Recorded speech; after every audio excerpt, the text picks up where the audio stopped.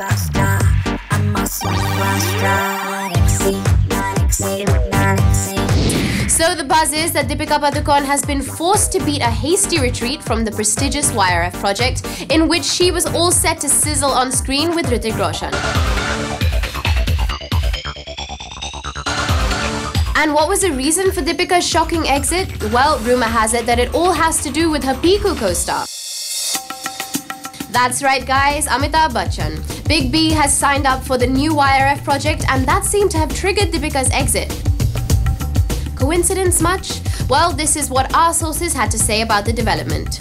They no longer want to work together and are both in a position where they can choose who to work with, who to avoid. As things stand now, a new heroine is likely to be launched opposite Hrithik. Does this mean that the rumored Amitabh Deepika war is very much on? To rewind, it all started when Deepika hosted a success party for Piku.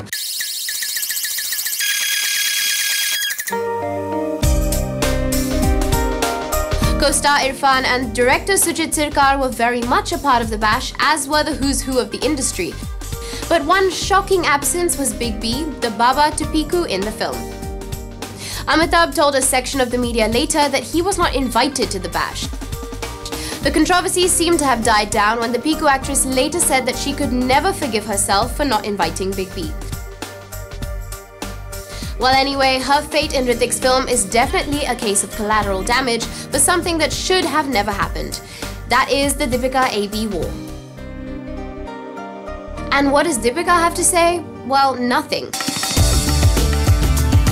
But her publicist sprung up to say that their client hasn't even heard about the YRF project, which, just for your reminder, is going to be helmed by Dhoom 3 director Vijay Krishna Acharya. However, YRF spokespersons were slightly less evasive.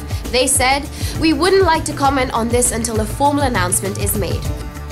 So, should we have waited for the formal announcement? Definitely not.